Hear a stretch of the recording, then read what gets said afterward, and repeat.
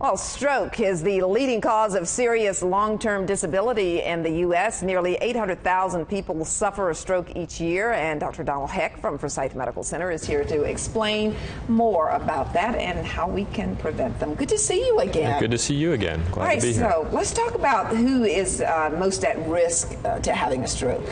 Stroke is a, is a disease that affects people of all ages, but is certainly more common as we get older. And the reason for that is that the major risk factors for stroke are high blood pressure, diabetes, smoking, obesity, and these mm-hmm. things become more common as we get older. I've so, got two of those risk factors well, right now. but, but, but you can manage them. The, the way to prevent yourself from having a stroke is by taking care of your risk factors, and we all may have some of them. Mm-hmm. Can't do anything about our genes, but we can do something about our blood pressure, our diabetes, our cholesterol.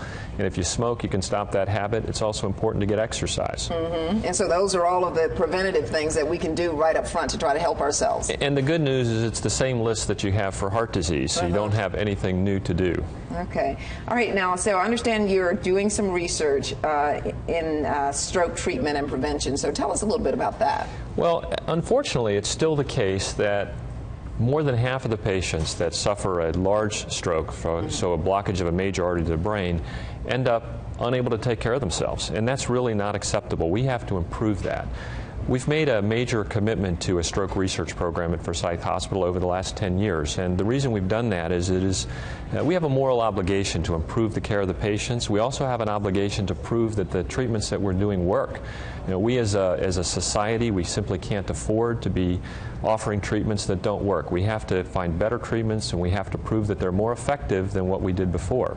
Now, I'd like to take credit for the research program, but the fact of the matter is, is that it's really a team effort.